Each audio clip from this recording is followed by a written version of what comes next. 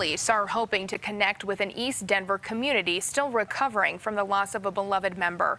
East Colfax has a new ally within law enforcement in the form of a victim assistance program coordinator. Our Olivia Young caught up with him today.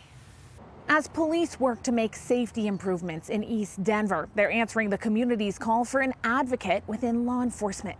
It's an idea that's been in the works for years, but police say was galvanized by the loss of Ma Kaing. Because of the level of tragedy and the, the level of love that Ma Kaing gave and received, it resonated across the city. Months after East Denver community leader Ma Kaing was killed by a stray bullet, Denver police are revamping their relationship with the community. Listening to what the community has asked for rather than us assuming what we know the community needs. The community asking for a voice and police giving them an advocate bringing in Matthew Roberts as victim assistance coordinator for East Colfax. How you doing? Not a police officer himself, Roberts grew up in East Denver. I actually was a survivor of gun violence myself in my teens.